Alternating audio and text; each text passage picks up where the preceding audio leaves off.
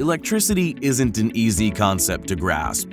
Some of the terminology, people tend to glaze over when you mention voltage, amperage, battery banks, and wire size. In this video, we will explain these terms to make them easier to understand. First things first, the battery.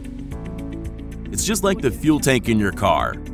In your RV, if you have a 100 amp hour battery, think of that like it's a 100 gallon gas tank. We consume gallons of fuel out of the gas tank in our car when we run the motor. Just like we consume amp hours from the battery when we run anything like a water pump, furnace fan, or lights. The more you use from your tank, the more you need to refill. To refill your battery, you have a few different options. In an RV, you'll likely plug into shore power to recharge them. This is where voltage becomes important. It's often overlooked, and that's actually the reason many people have battery issues in the RV industry. Voltage is similar to the pump pressure at the gas pump. You pull into a gas pump, and that pump doesn't have enough pressure behind it to fill the tank back up to 100% full. You can't drive as far the next time you go on the road. The same thing goes with refilling your batteries. When your batteries are depleted or your gas tank is empty, you plug in for a recharge. Most RVs come equipped with a charger, but most stock chargers don't quite have the power to get your batteries or gas tank 100% full, which means you can't go as far on your next trip.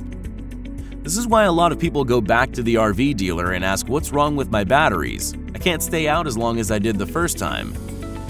Every battery type has an ideal level of full.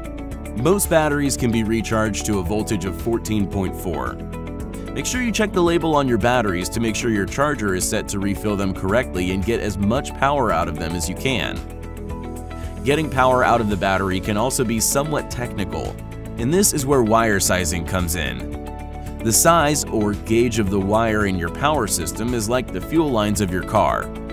For example, if your engine uses smaller fuel lines from the gas tank to the motor and you hit the accelerator, your car is not going to perform at its best because it's not getting all the fuel it needs.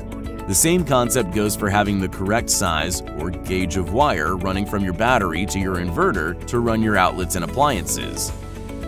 Now, how does all this work with solar? Well, we have videos on that too.